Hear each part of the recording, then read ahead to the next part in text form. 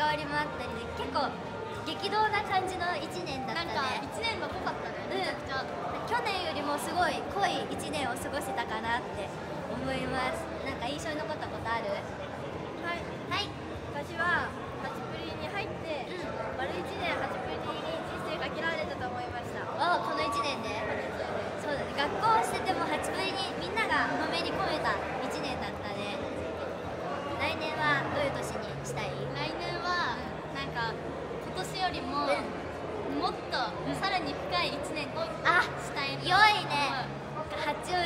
ももっとお客さん呼んでもっと大きいイベント八王子で打ち出してもうメジャーへの階段を駆け上っていけるような1年にしたいね。